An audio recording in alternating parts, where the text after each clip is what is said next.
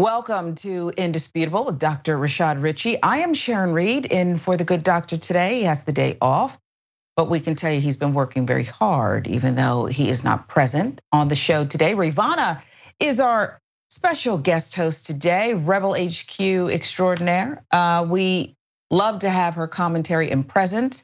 Uh, we begin today with a another one, another indisputable exclusive. A black man shot and killed in Independence, Missouri. It followed a short vehicle pursuit in which the suspect ran a red light. Watch.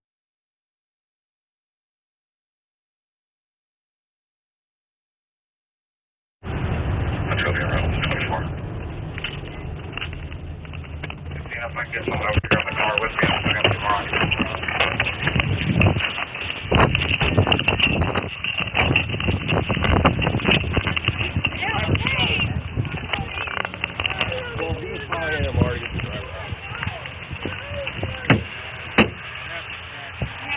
Get her out, folks. Get out now. I'm trying. I can't get, out. get out. out. On the ground now. On the ground. Okay. Ah. Oh, okay. Yeah, I know. Oh,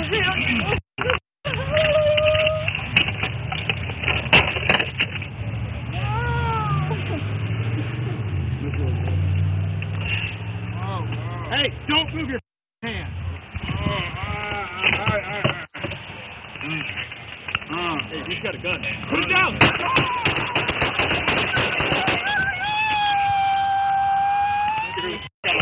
Come on, come on. Get her the out of there. Come on. Greg Rose.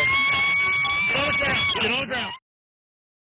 Sudden burst of gunfire after this 39 year old black man reportedly, we saw what we saw, surrendered the vehicle at a complete stop, police seemingly in control of the situation. Let's give you the background here. 39 year old Tyree Pryor died. This was on March 11 last year, 2022. There he is with his family. Police said Pryor crashed in the intersection of 24 Highway and Noland Road. Indisputable obtained Missouri State Highway Patrol's investigation. And let's see what it shows. Well, you see it there. One officer, Christopher Walker, was quoted by Missouri state investigators stating, and somebody yells gun, and I don't know why. I thought it was one of our guys securing the weapon.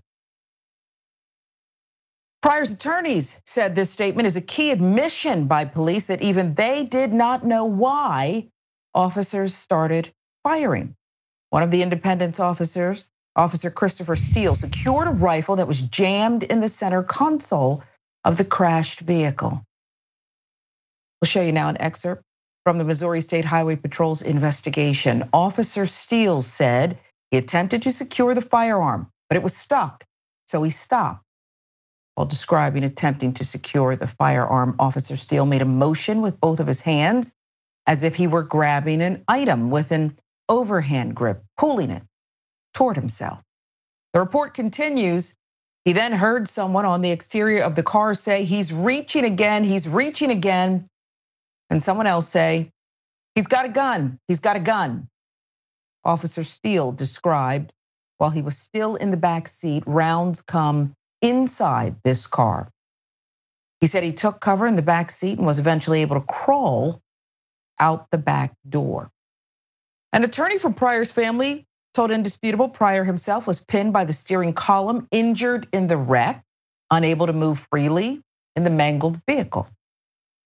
Days after the crash and shooting, Pryor's family spoke to a local NBC affiliate saying police didn't tell them their family was dead for days. The family didn't know. No one said anything about him being any kind of aggressor or doing anything to justify anything that happened that day. That from the brother in law of Tyree Pryor, Nigel Johnson, telling NBC 41 in Kansas City, Missouri. Here's Pryor family attorney speaking with indisputable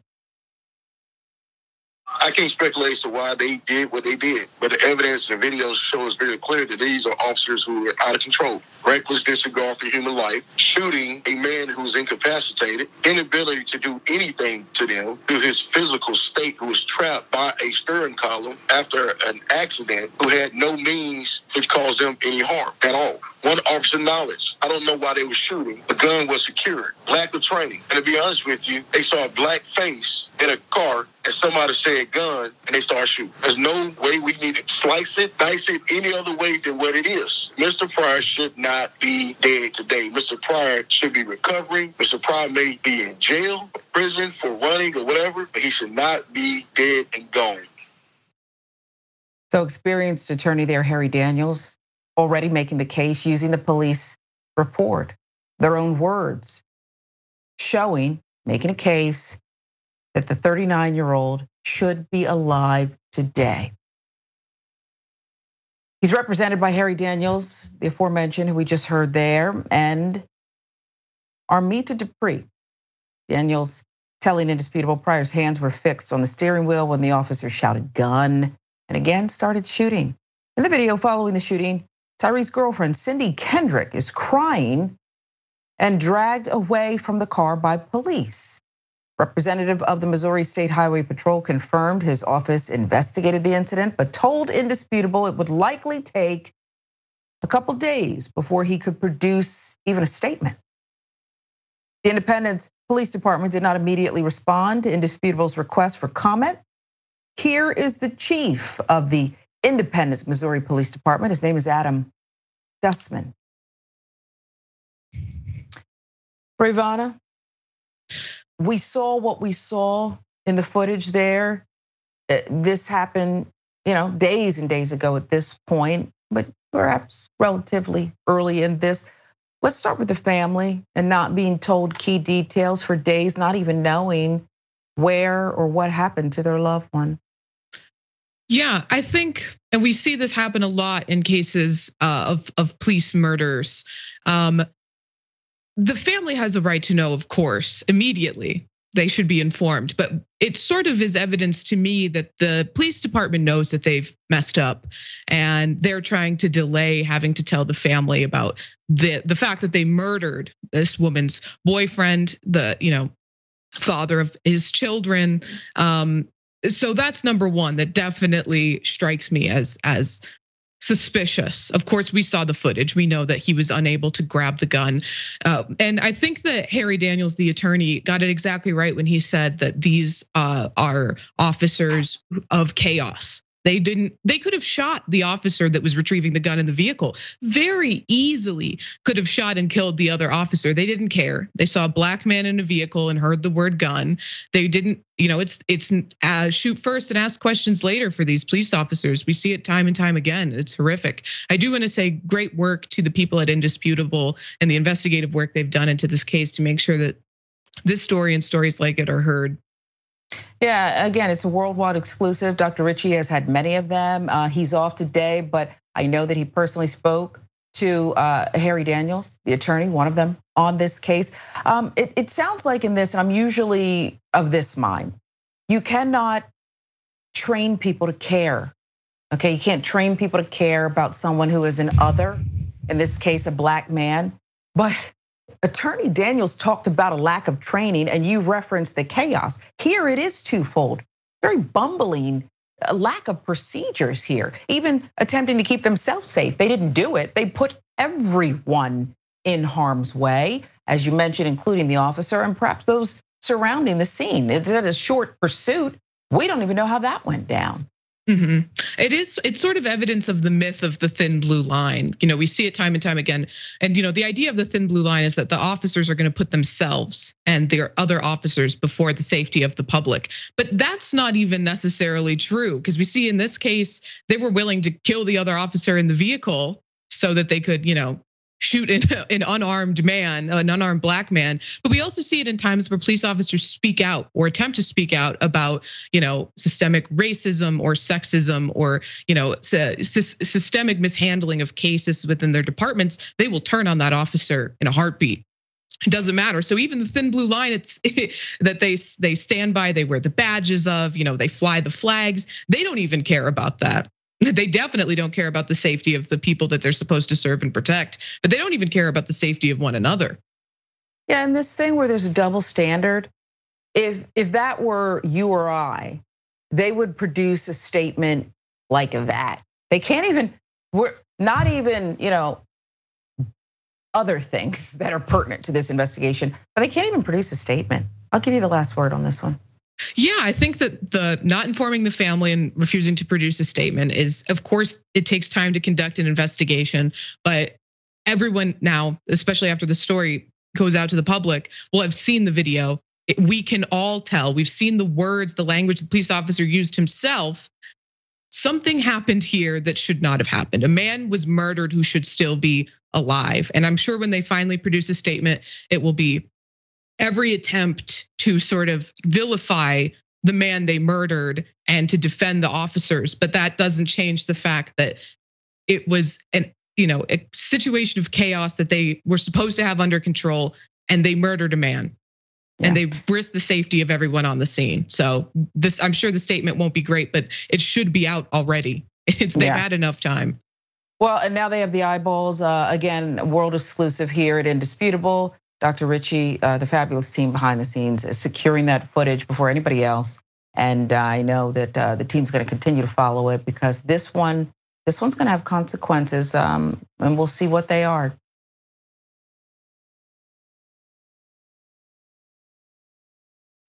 We'll move on now to Florida. They're at it again. Okay. A bill would prohibit black fraternities and sororities. Okay.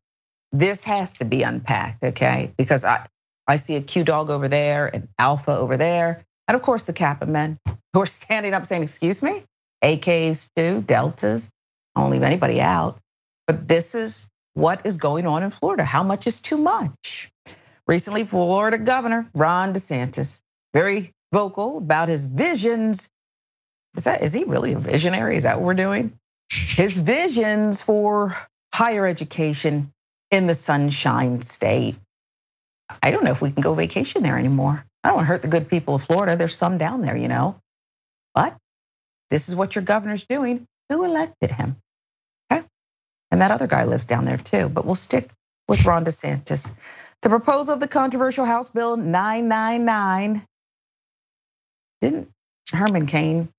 Okay, I don't want to get into that. I can't help it. Okay, it's the end of the week. You know where my mind it just starts going in many different directions. But I do remember that 999. Correct me if I'm wrong. The 999 House bill could make his vision a reality. The bill aims to restrict the programs and activities in Florida's universities and colleges that promote diversity, equity, and inclusion. Weren't those good words? One of the Republicans sponsoring this bill is Representative Robert Alex Andrade.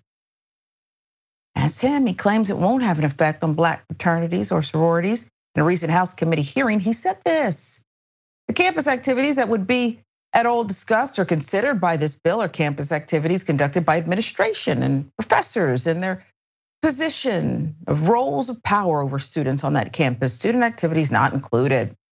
But Representative Yvonne Hinson, who opposes the bill and happens to also be a part of a black sorority, says her interpretation of the bill is that it could impact the way black sororities and fraternities operate on campus.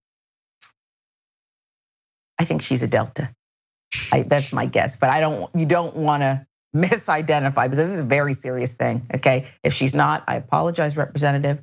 During the House committee hearing, Hinson voiced her concerns. Of course, he answered that it would have zero effect on operations of student activities, student programs, multicultural centers, Black student centers, Latino student centers, or any activities related to students. Although the bill itself seems to impact all of these different activities, that part. WPTV with the interview, Representative Hinson there. WPTV noted that line 341 of the bill aims to prohibit universities or colleges from using any funds to promote, support, maintain any programs or campus activities that support or adopt diversity, equity, and inclusion. They actually wrote this down. Okay, he said gave this to one of his aides and said, Can you put this paper? They, this is what it says. I'm reading what it says. Okay. Imagine writing a law that specifically says that if any campus organization makes it a point to be demographically diverse, equitable, and inclusionary, that organization can't get any of our old white money because that would be divisive.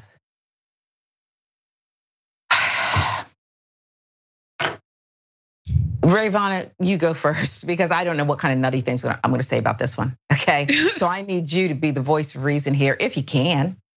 Um, I think there's very little reason to find yes. in pr- promoting a bill like this. First, I want to say you're absolutely right about the 999 Herman Cain thing. That was his his plan. um, but um, so first thing, I think that a lot of people who aren't black don't understand the uh, and I didn't until I went to college, but the the important institutions that historically black fraternities and sororities are for black students and the opportunities they create for those students to create a network and get jobs once they graduate college. So people typically think of sororities and fraternities as just, you know, getting drunk, going to parties, whatever. But one of the most important aspects of, of Greek life is creating a network of people that you can connect with uh, after you graduate, when you're applying for jobs, when you're applying for, you know, uh, grants, programs, scholarships. That is imperative, especially for Black people in America who have, you know, historically been discriminated against, continue to be discriminated against in employment in education you know these are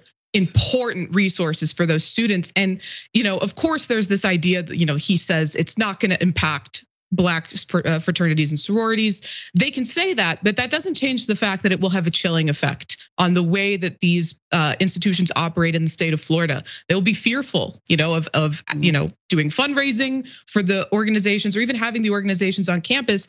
And the colleges out of fear of violating this bill and be, and stopping receiving funds for their schools are going to be apprehensive if a chapter tries to open on a campus of, for one of these fraternities, they're going to have to think twice about it. Whereas if it's a, white fraternity or sorority, they won't have to make that same consideration, which is, you know, it's just a racist bill. It's just based on racism. That's it. There's no benefit to this whatsoever, educationally, institutionally, otherwise. You know, you're if you're banning DEI from the classrooms, in the first hand, you're, you know, preparing your students worse than other colleges to go out into the world. On the other hand, you're also opening your school up for more lawsuits and having the taxpayers pay out more settlements for these public institutions because a huge part of DEI at, at universities and is particularly in the workplace is you it's a piece of evidence you can introduce if you're being sued for discrimination. We have these programs in place. We teach our employees and our students uh, you know how to navigate the world in a more inclusive way. Now they don't have that piece of evidence to introduce. That's going to lead to more lawsuits, more settlements, more taxpayer money being paid out for instances of racism on college campuses. Um, so all around, there's just no benefit to it. It yeah. is just racism. What's the upside here? Okay, I don't know if Ron DeSantis and whoever his aide is just loop the movie School Daze or something. Remember Spike Lee's movie School Daze? And that that was a movie and we love Spike, and there was some truth to it, but you're exactly right. Black fraternities and sororities are about a brotherhood, a sisterhood. It is a lifelong love and bond, okay? And to think that that would be discouraged or would go away is unconscionable. You know, they should. I dated a Q dog once in college, and I will say maybe that one Q dog can go away. The rest, though, no, these are glorious, wonderful. And I don't mean to single the Q dogs out, but the name. These are wonderful, storied sisterhood, brotherhood. They do so many great things. And yes, when you're now writing stupidity, you you better not be inclusive around here. Do I see diversity? It's this is Looney Tunes, no? Okay? If Spike's movie had that in it, we'd say this is not, you know, this is the cult classic. No. So, uh, you know, I don't know where this is going to end. And I think the fact that people continue to not allow it, but they complain and then they move on, Rayyvana, is part of the problem. You can't just allow this to fizzle out. You have to take your boot and stomp it out. Where's the lie? Okay.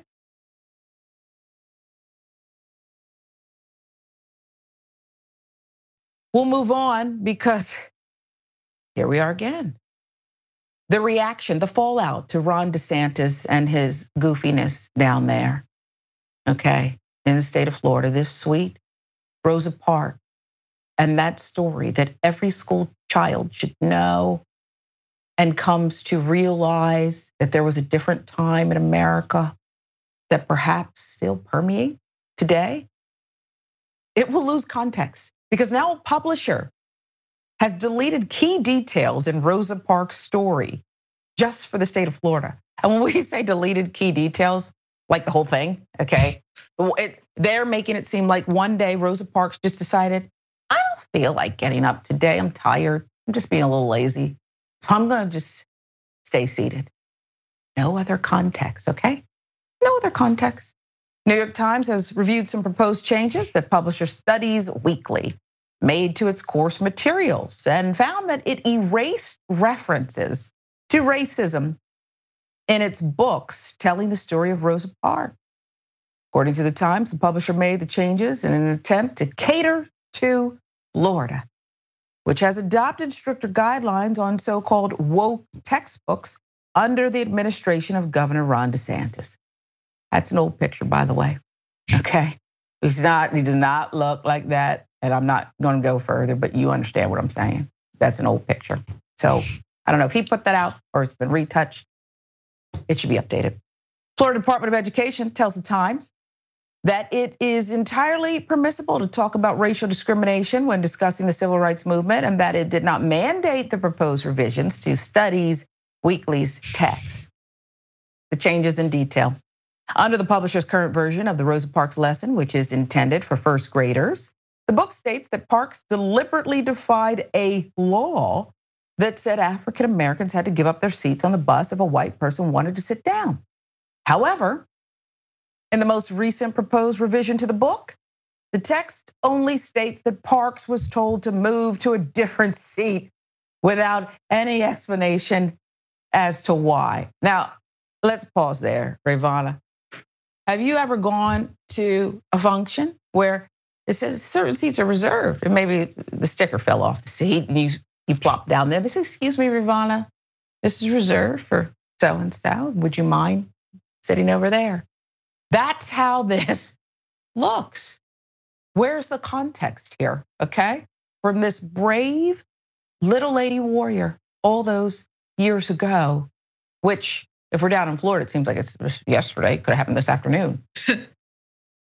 it's horrifying because the story of Rosa Parks has already been so whitewashed in the American American education system. You know, schools teach that she was fresh. They, te- you know, typically they'll teach about uh, Jim Crow laws and how she had to give up her seat for a white person, but they'll just say she was tired after a long day and didn't want to do it, and she was tired of having to move. When in reality, this was a planned protest. This this was a planned protest. She was an activist before and after this. Throughout her life, she was an activist. That she intended to uh, to not give up her seat. Her and several others went on that bus in an act of defiance against uh, the busing systems there.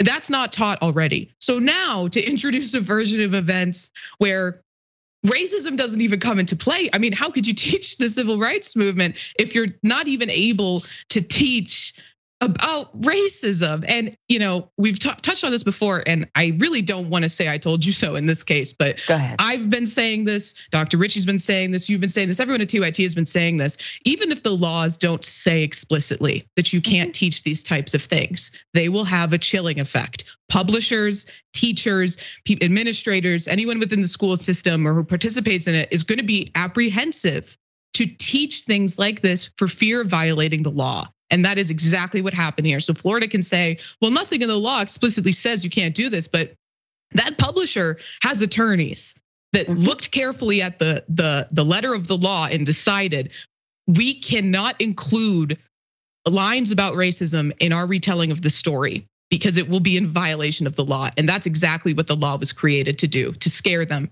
out of yeah. teaching about racism.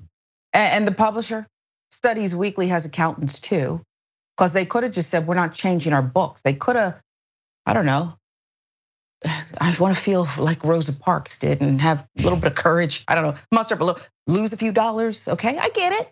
Okay, I don't think all of these people who are afraid and have worked for their uh, their life's work, their careers, should have to give it all up because the governor is a blowhard.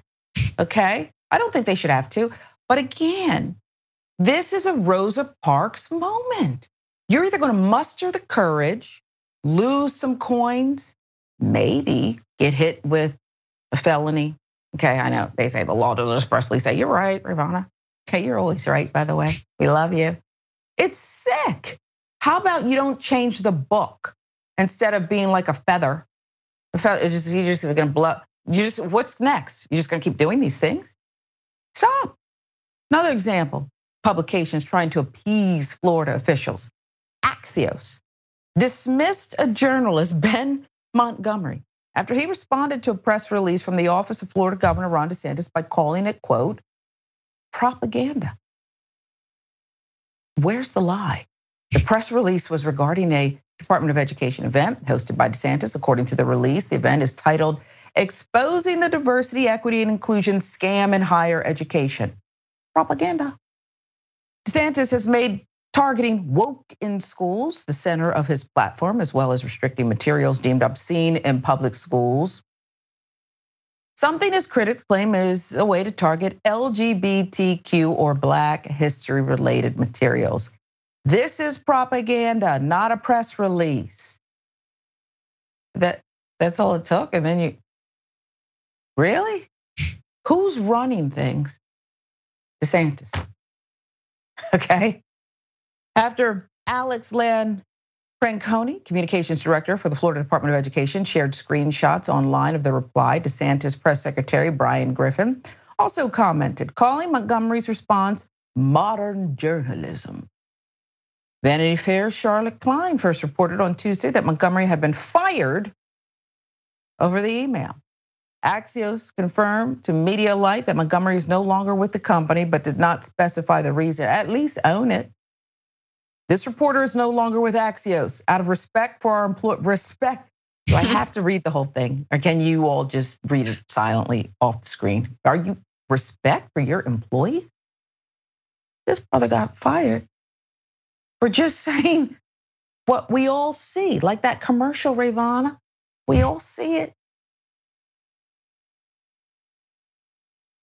It's Uh, first of all, it's so offensive to say that it's out of respect for your employees. I mean, you fired the man for speaking the truth. I also say there's this really pernicious idea I think that a lot of people hold that journalism is walking the line, right? That you report things from both sides. And if you tell it from both sides, then in the middle is the truth. That's not the case. The truth is the truth. You don't take a little bit of what fascist propaganda says and then a little bit of what, you know, righteous activists are saying and then split the difference and that's the truth. The truth is independent of, of, of that. So what he did was speak the truth. It is propaganda he reported or he emailed something that was objectively true and got fired from his job for it. And Axios is a right-leaning, you know, news uh, conglomerate. So I'm not like surprised necessarily that they would take his uh, take DeSantis's team's side in this, but it is really disheartening because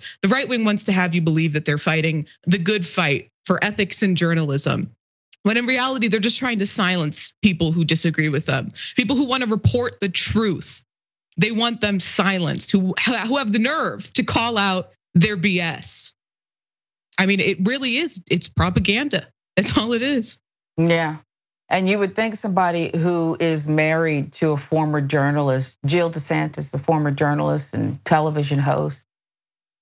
Well, never mind. I'm not surprised. you know how many people I sat next to, and I said, "Did you even you don't know anything about what's going on in the story. And your hair it's, it's too much hairspray okay? I once got in an argument with a girl who kept spraying and spraying. You know that spraying chemicals all over the place and not all of us want that. I like flyaways and I'm going to keep mine. Okay, this whole thing is a mess down in Florida, uh, but we've got boy, that was a big block, a world exclusive that we're going to follow up on. Disheartening, and then the rest down in Florida, much more indisputable with the lovely Rayyvana, our Rebel HQ extraordinary guest host today. When we come right back.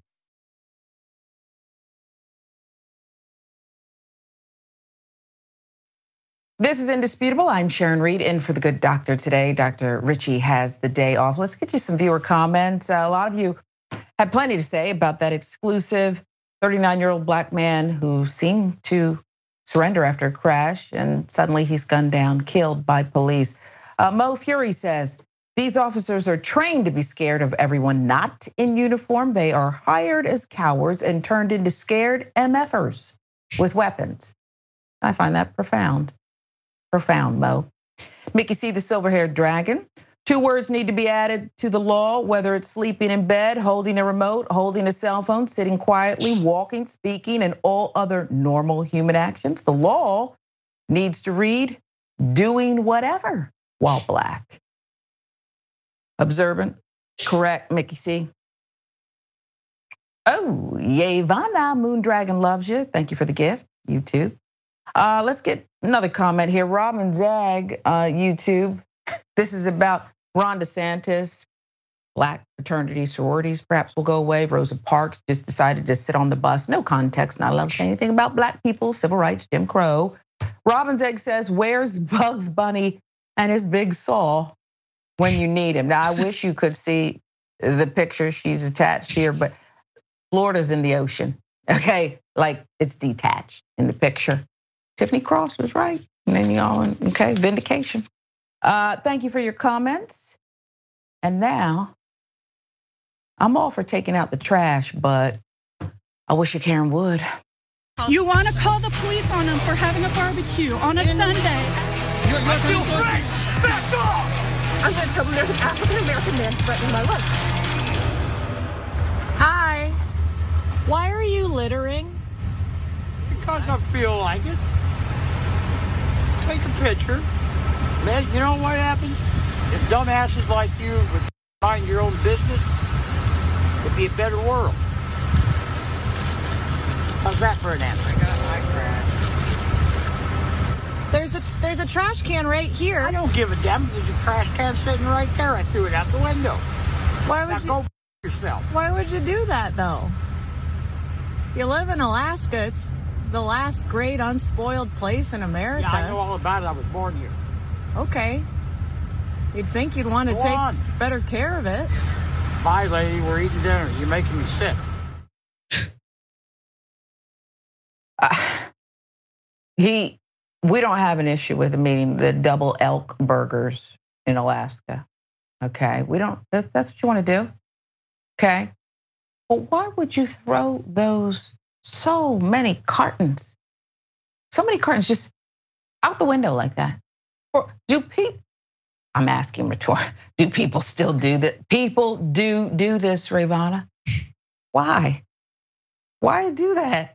I have no idea, but I do love him saying, You're disturbing us eating our dinner. And his dinner is eating fast food in his Yeah. car in a parking lot with his wife. And Wilford Brimley got really defensive there after after she called him out. And you know, I am a big proponent of minding your own business. I Mhm. really, I firmly believe in minding your own business. But it, you pointed this out in the break. It's so much trash. Just and she goes, "I'm gonna throw this out the window too." She throws a whole bag of trash out the other window, and uh, it- it really it's so disrespectful. And she points out, you know, we're in Alaska. It's we you celebrate the fact that we're supposed to be the last unspoiled area of America.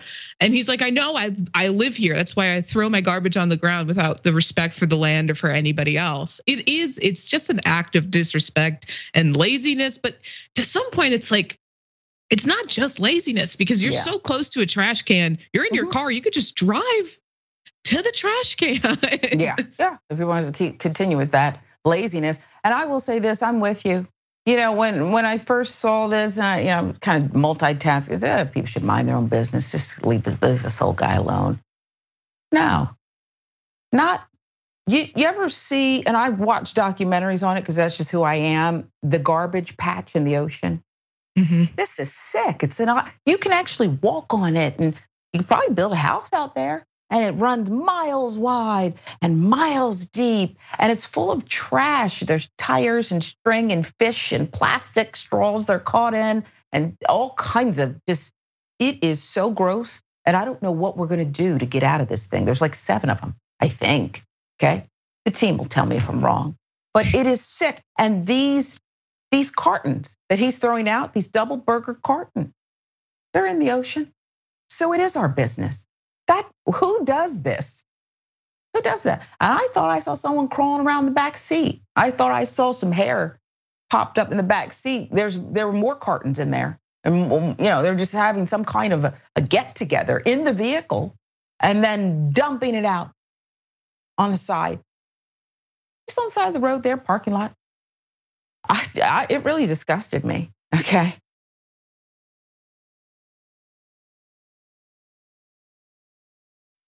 We'll move on. Speaking of disgusting, gangs are out of control and they're everywhere. Gangs are out of control in America and they must be stopped. They're very dangerous. What gang? Sheriff and some deputies, that's who we're talking about, charged over alleged kidnapping. This is the gang we're talking about here. Iron County, Missouri Sheriff Jeff Burkett. He's on the left. He's seen better days. Deputies Chase Bresnahan, left center. Matt Kozad, right center. They've been charged with multiple crimes, including street gang activities, misusing 911, stalking, making a false report, looking up criminal records under false pretense, and attempted kidnapping. Who needs Suge Knight when these are the charges? These are former I don't know, they former men of the law. I don't know.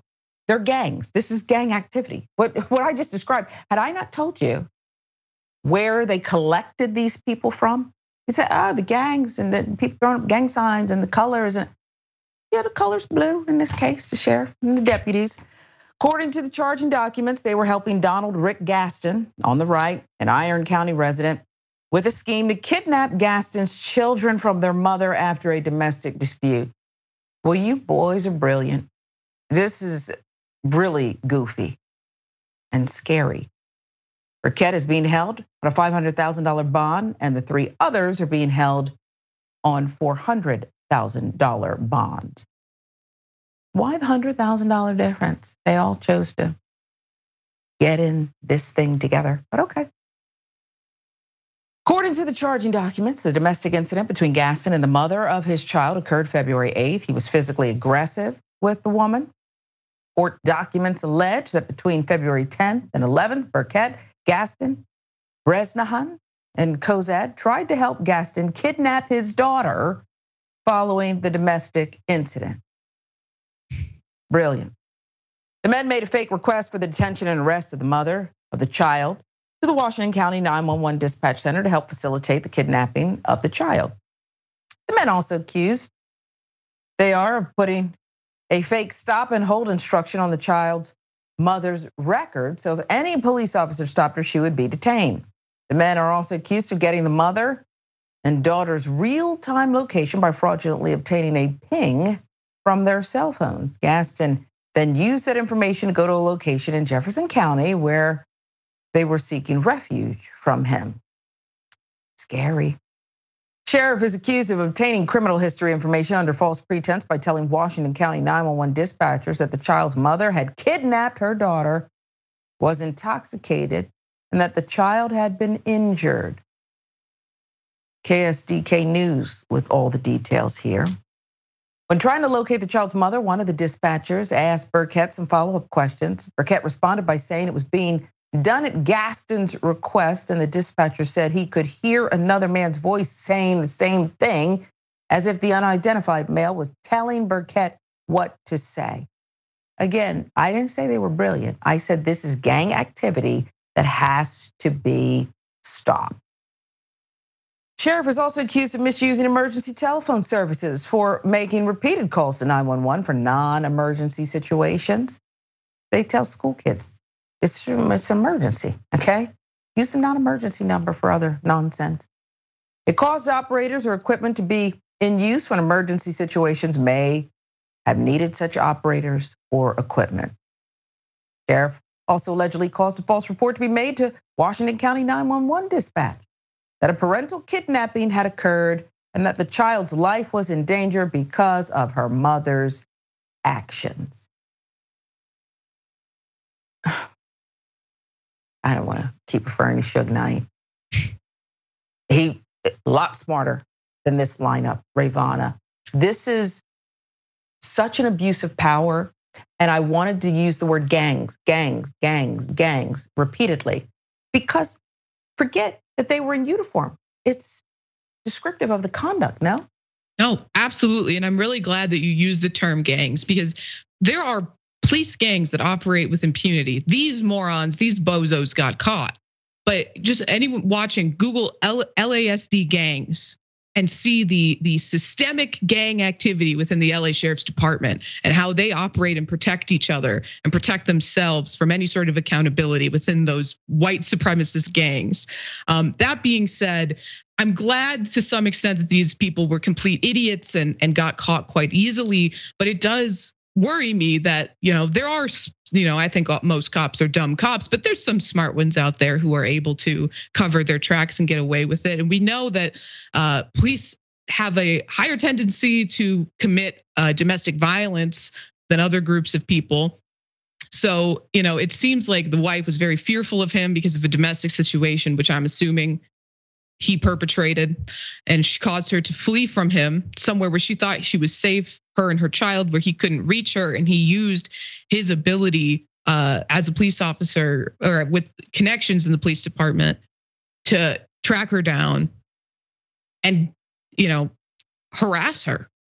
And it's it's really horrible. And thinking about the level of just the ability the police officers have to go through our records and have all of these details of our lives at their disposal, we don't know whether or not they're using it to stop criminals or for more nefarious reasons. And this is one of those cases where it's nefarious reasons. It and you know, getting the ability to ping the cell phone to track her down, horrifying. Yeah, just horrifying. Was, she was. They were seeking refuge. Okay, so yeah, and anecdotally, I can tell you that I do have uh, too many friends who have said to me, I, used to be married to a police officer. I used to have, the, and this is not isolated. Okay. Again, that's okay. We got to go out west to San Francisco. We'll do that right after a quick break. This is Indisputable with Dr. Rashad Richey. I'm Sharon Reed filling in for the doctor today. Rayyvana is our special guest co host. We'll be right back.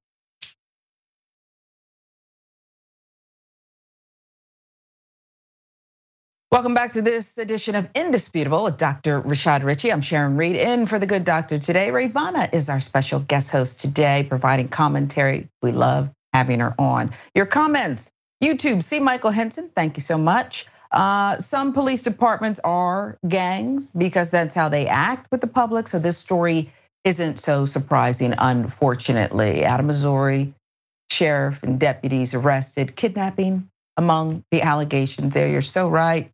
See, Michael, so right. We appreciate you. Shiva Mahadev, member for two months, thank you. Police are addicted to an adrenaline rush that only hunting humans can fulfill for them. We need change immediately. And remember how policing in America started hunting humans. Hmm. Sketch E Assassin, welcome to Indisputable. Thank you. Always a pleasure to be here, always a pleasure to share the time with you. This next story, well, it, it got me puzzled when the team pitched it this morning, and I was, I didn't quite understand. San Francisco, the NAACP, National Association of Advancement of Colored People. Is that right, Rayyvana? Okay. They're they're for black people and helping and assisting black people. The NAACP has rejected, though, reparations for slavery, the proposal money in the hands of the descendants of slaves. What goes here? An An interesting, rather, division between the NAACP and the city of San Francisco unfolded Tuesday on exactly what the best what's the best way to rectify the systemic conditions affecting black Americans following an ongoing centuries long struggle. After years of deliberation on the topic of reparations, the San Francisco committee has finally gained traction on a wide scale proposal to dispense cash allowances to descendants of slaves in the city. These are the committee's provisions.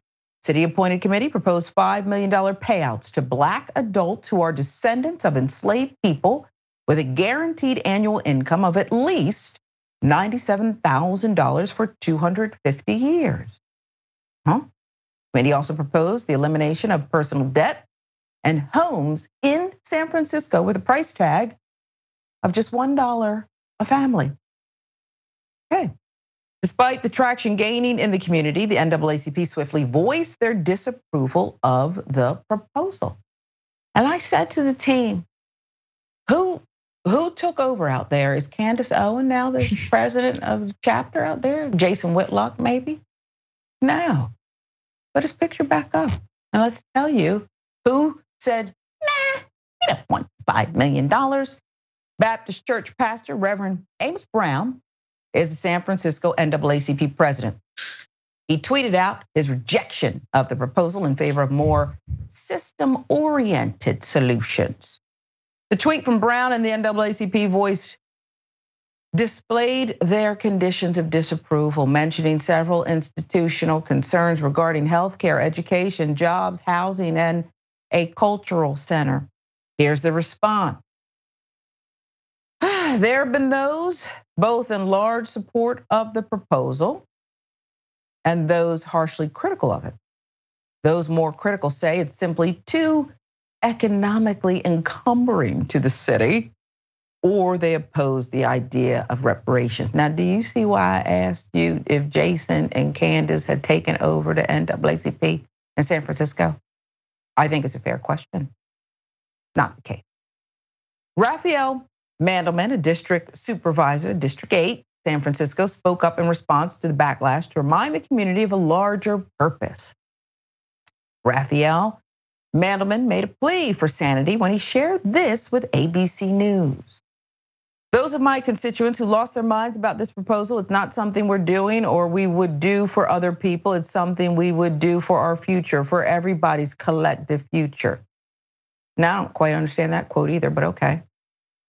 Despite the approval made by the Board of Supervisors, among the protesting voices are those who blast the proposal, such as Xaviaer DuRousseau. Xavier, former renowned BLM activist, suddenly reversed course. He reversed many of his ideas when he became a pundit for a conservative advocacy group, PragerU. Am I saying it correct? Rayyvana will tell us. PragerU, yeah. Okay. Maybe I did it on purpose, Rayyvana, because I don't really care about the group, but okay. Disgusting. Okay, that's what he called this proposal on Fox News and claimed that this is a method of gaslighting Black Americans. He also had this to say after his appearance with her. After my appearance on Fox News, I see articles asking who I am. I am the left's worst nightmare. I nearly spent my entire life believing their lies until deep diving into the truth. Now I expose the America last Marxist and remind people how privileged we are to be Americans. Is it Fox News put out that statement for him? Okay, as he gets a stipend for each show. I have no information. The team has not confirmed that. That was my comments, Rayyvana. Okay, I need you to weigh in now before I get to the rest of this.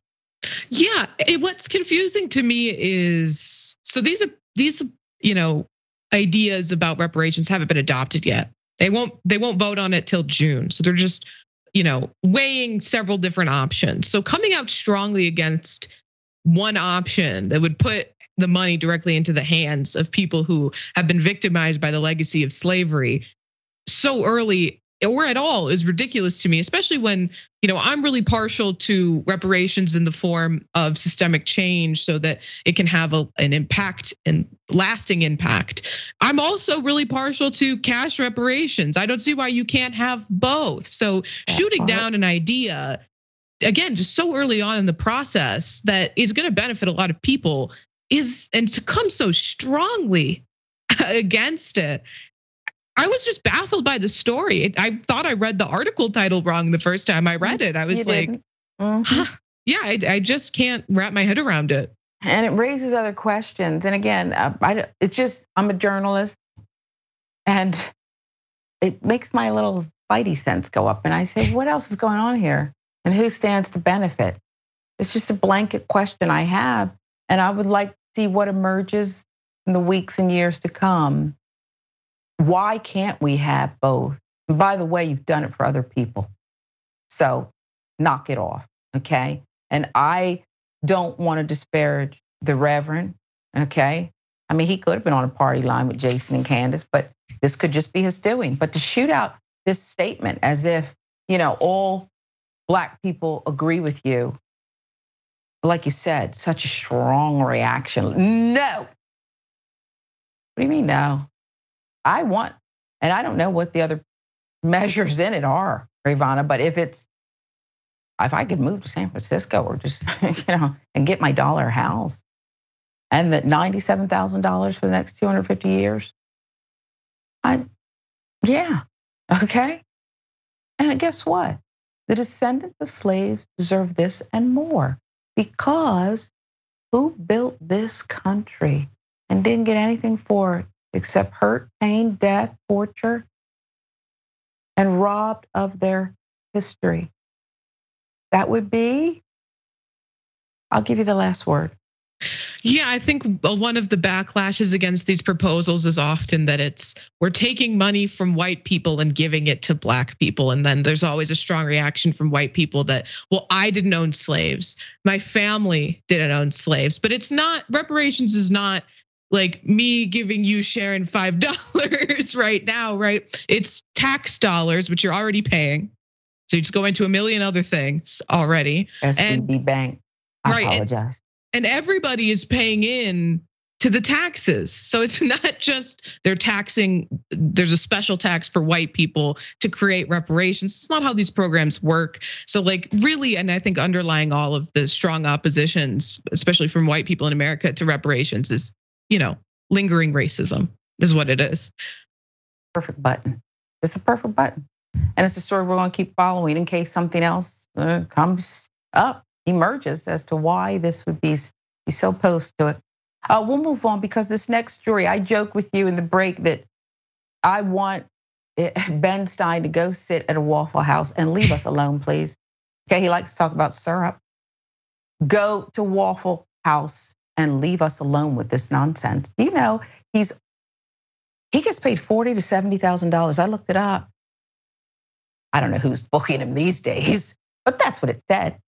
Washington Speakers Bureau. I looked it up.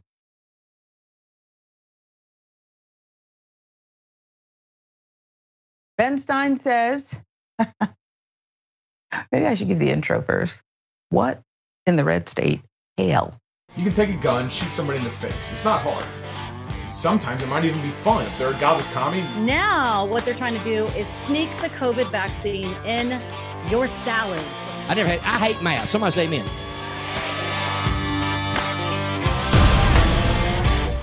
I was a child growing up in Maryland and uh, spending a lot of time in Washington, D.C. I would drive by the neighborhoods uh, with my parents driving the car where predominantly black people, in fact, almost all black people lived. And they looked so raggedy and sad, and their neighborhoods were so run down and miserable. I just thought, wow, what a horrible way for these poor, honest, decent citizens to live. If I woke up in the morning and I were, as we called them then, a colored person, a black person, we call them now, I'd want to kill myself. That was, let's say, 60 years ago. And now, ladies and gentlemen, if I woke up and were a black person, I would think, well, I have every opportunity to go to a really good school. I have every opportunity to live in a really good neighborhood. I have every opportunity to get a really good job. The whole system is now set up so that I, as a black American, can have every chance at a good life.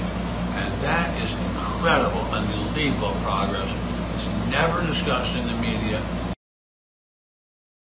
This guy had that one iconic line in the movie. And I think I have it right, right? That was him, right, Rayyvana? Bueller. Bueller. Ben Stein. Just stick to that. He's still talking about black people. And it's getting a little crazy, okay? You're, he's either a staunch racist who hid it for some time, and now plaque or whatever is building up on his brain, he cannot stop himself from revealing it. He says black people should stop complaining. Why would I do that? I like to complain. Why would I do that, Ben Stein? You understand? He's babbling on and on about something, riding with his parents and driving by black people. Like, what was that movie Eddie Murphy did, Trading Places? This is not Trading Places, Ben. And again, I want him to just go sit at Waffle House and enjoy his days and leave the rest of us alone.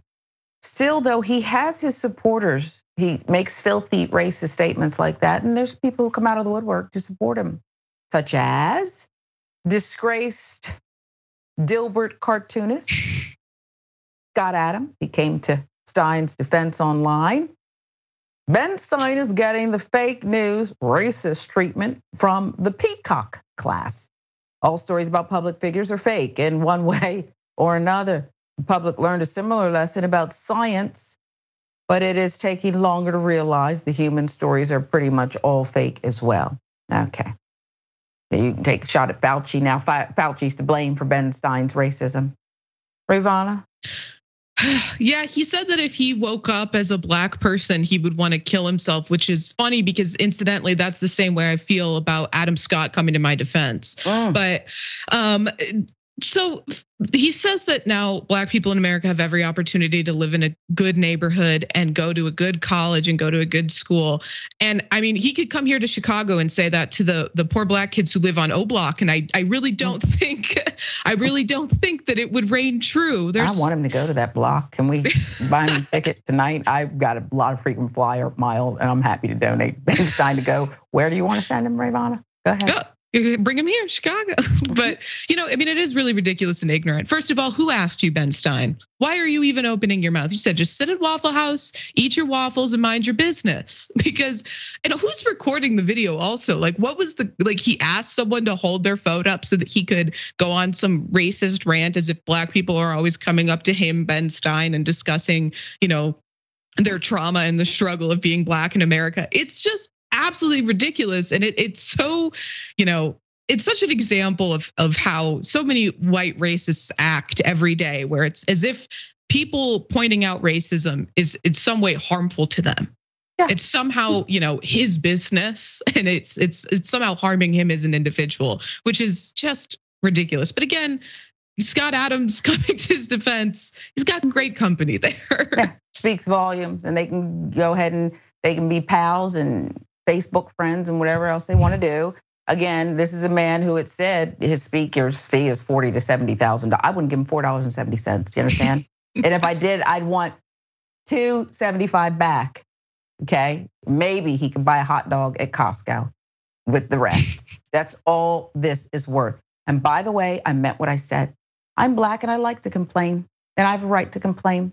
Let's run it down for you. The most common complaints by black Americans are, huh, According to a recent poll conducted by the Pew Research Center, about six in 10 black adults say racism and police brutality are extremely big problems for black people in the US today. Thank you, Pew Research Center. But you need to spend a dollar on that. You could have called me and I could have told you facts all day. Okay? Racism, 63%, police brutality 60, economic inequality 54, affordable health care 47, efforts to limit voting. Oh, voter suppression 46. Quality of K through 12 schools, our future. Hmm, 40%. Racial discrimination 68%. We're going to keep complaining, Ben. You get over it. In terms of government institutions standing in the way of progress, many black adults say institutional overhauls are necessary to ensure fair treatment. Okay? Kind of like what you were talking about with reparations. Okay? Prison system, policing, the courts, judicial process, political system, the economic system, the healthcare system. Gee, what are we satisfied with? Hmm. In terms of the percentage of Black Americans that think the following issues have little chance of being resolved, that means little hope, just like it says there, among Black adults that change is likely. Reparations to descendants of people enslaved in the US, little hope, 82%. Thanks, San Francisco NAACP chapter head. Changes to the prison system, 67% say little hope. Changes to policing, 58% little hope. Does, is Senator Scott vote in this? Senator Tim Scott, was he part of this? The team will let me know, please. Equality for black people in the US, 44% say little hope. Ben Stein, put up his picture again if you can for me because really, it really doesn't even need a caption. This is what he's been reduced to. This is who he is. Bueller. Rayyvana, should we ignore him? Frankly, now I don't even want him at Waffle House. He can go to Cracker Barrel, and that's not open 24 hours a day. He belongs at Cracker Barrel, and he can sit there and do whatever he wants to do, but he has to go home at a certain point. But I don't want to see him up in Waffle House. I mean, it's interesting because on, on, the one hand, I really want him to shut up forever. Oh. On the oh. other hand, I think he really is sort of voicing the opinions that a lot of conservative Americans have about um, black people fighting for equality. Is that things are good enough now? We had a black president. We're fine. Racism's over. You're, you know, you can't, you know, an employer it's not legal for them to yell the N word at you anymore. It's fine. racism is done. But when we can look at these systems and objectively say, you know, and all the research proves that, you know, the effects of, you know, uh, slavery and Jim Crow, we still see them in our institutions in America today, and they still harm black people and people of color in this country today and that we have not solved racism in any meaningful sense so it, you know, he's holding this opinion that I think a lot of people hold, but are a little too afraid to say. So at least when someone says the quiet part out loud, we can call them out and point out that the, the things that you know black people are complaining about are real and valid and things that we need to fight and bring attention to. Yeah, I mean, he makes everything sound so simple.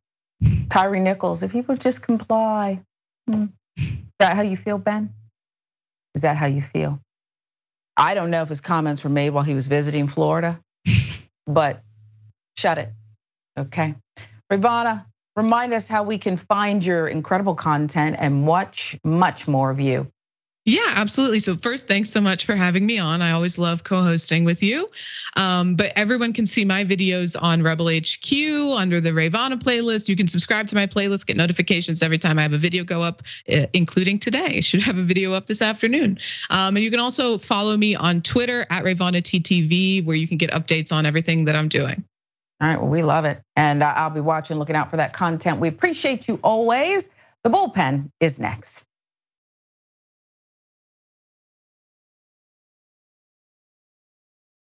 Ladies and gentlemen, welcome to the bullpen.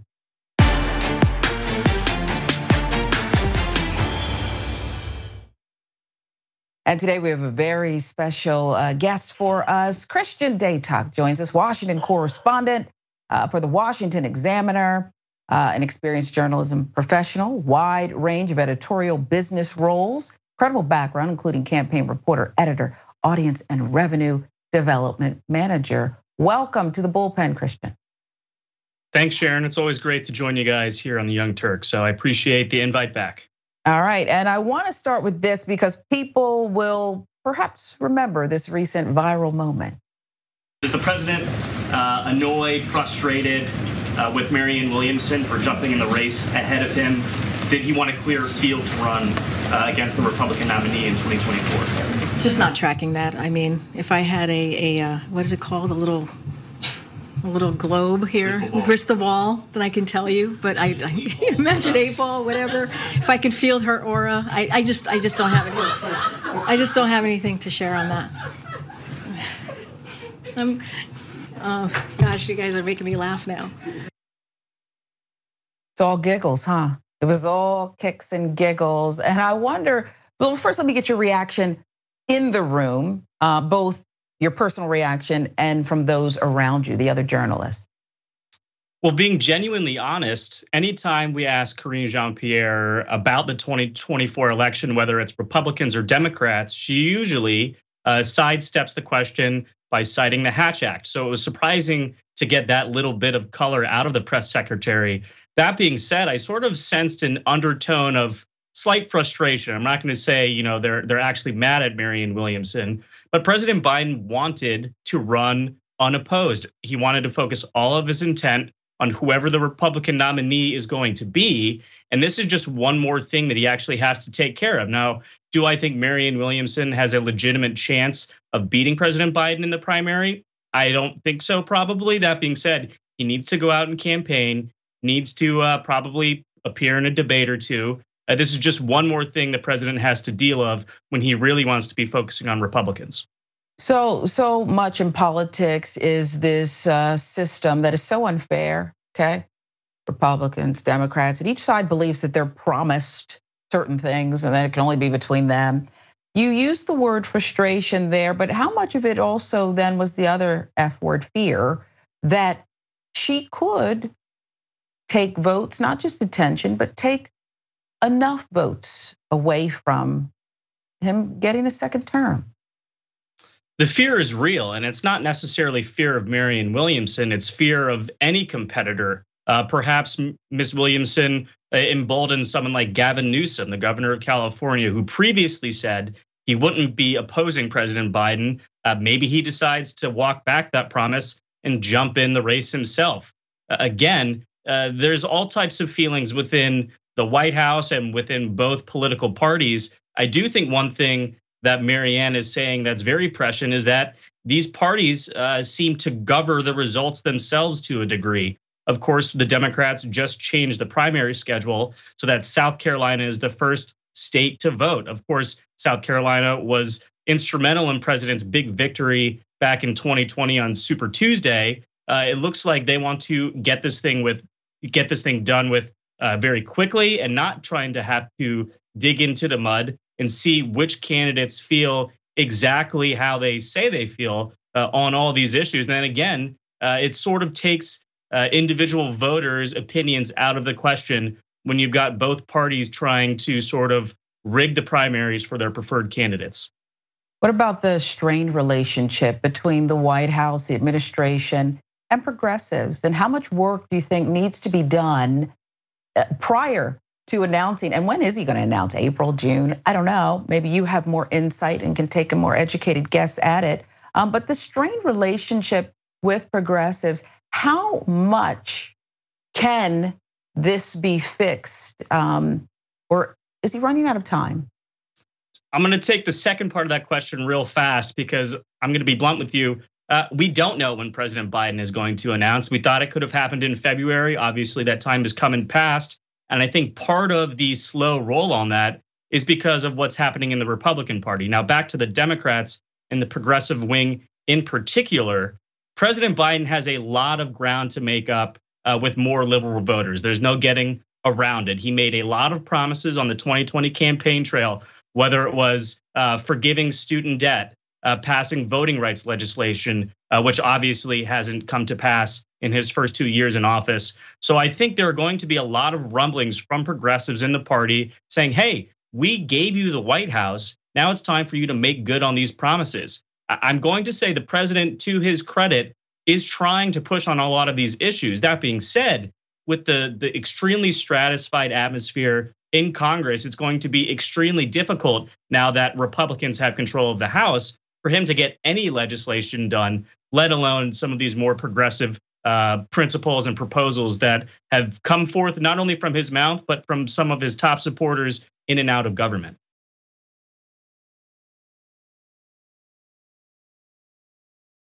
When we think about uh, President Biden and perhaps candidate Trump, the former president, squaring off again in a debate.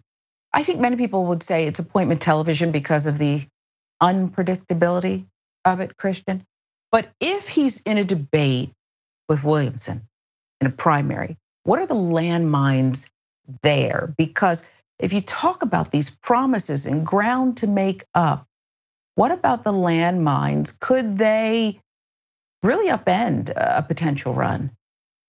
Some of those landmines are going to be very similar to what you heard back in the 2020 campaign when he was debating President Trump.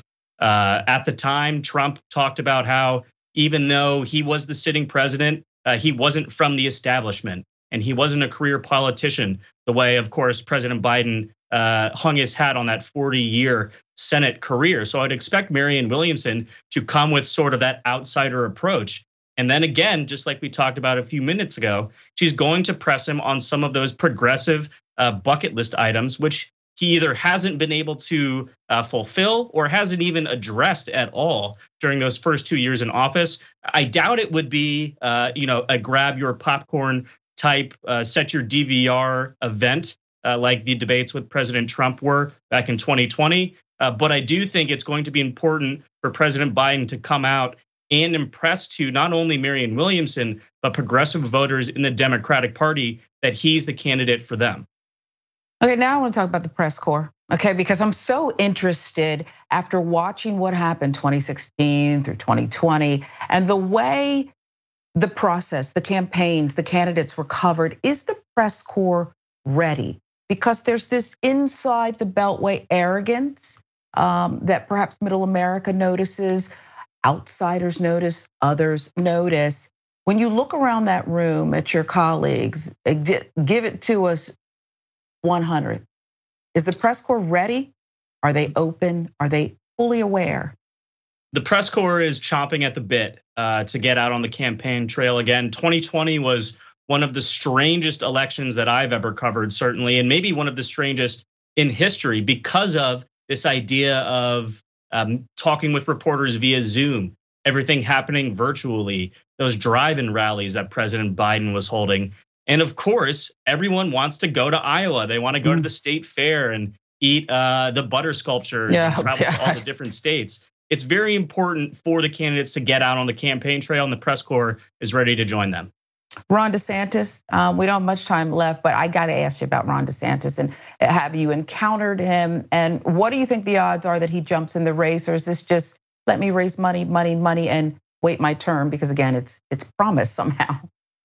It's extremely likely that Governor DeSantis jumps into the race. I would expect that to happen uh, sometime in May after Florida's legislative session takes place. There needs to be some rule changes, which the legislature has addressed in the past, allowing state officials to run for national office. That being said, Ron DeSantis uh, might pose more of a threat to Donald Trump's hopes of the presidency than Joe Biden will uh, come 2024. He's a rising star in the Republican Party. He he's looked at by conservatives as Trump without any of the baggage. Uh, and I do expect once he formally jumps in the race uh, late this spring or in the early summer, uh, that primary is really going to kick into overdrive. The gloves have come off in the Trump camp, and I expect DeSantis to start hitting back fast and hard as soon as he formally launches. Well, we hope so because you know when I saw Ron DeSantis in that one debate where he just froze and just didn't answer the question, I hope he's ready. I don't know where the gloves ever, you know, were put back on, Christian, when it came to the Trump camp. But I love your inside baseball, love, love listening to you, and we appreciate you always. I want to thank you so much for joining the bullpen. Um, great insight, and welcome Thanks, back Sharon. anytime. Thank you, and we appreciate you watching us and joining us on the bullpen. Till next time. Welcome to Indisputable. I'm your host, Dr. Rashad Richey. We got a lot happening today. But what do we do on this show? We tell the truth. You know why we tell the truth? Because the truth is simply indisputable. Rashad, great to be here. Congratulations on the new show. And I got to let everybody know that Rashad and I go way back. Here's the pattern that we see in all of these Karen stories. They think they own stuff they do not own. Now, where does that come from? I don't know. Maybe slavery. Maybe they think they should still own black people. This is what happens when Karens weaponize the police when you're used to privilege, equality seems like oppression. It hits you in a certain way when someone is holding you against your will, treating you like you're a criminal and you're an innocent person. This is something that black people face no matter where they are. A stronger black economy lends itself to a, a stronger, greater economy. Don't think it's exclusive of you, it's inclusive of you. What's your beef with critical race theory? It adds more fuel to the fire of the racist tendencies that we already have. We have a generation of problem solvers that can remedy the problem if they are properly taught what the problem is. You know who created redlining in this country? Mm-hmm. It was a white liberal. I, I don't. I don't give a damn who created it. If it's a racist policy, racist policy. Shelly, here's what I don't know. I don't know. See, there you go filibustering, brother. You're scared of this truth, but you're gonna get it though.